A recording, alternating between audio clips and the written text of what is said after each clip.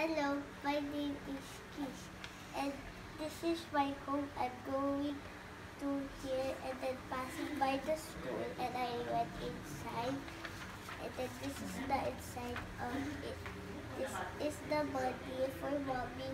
This is the panda for her. This is the dog for daddy.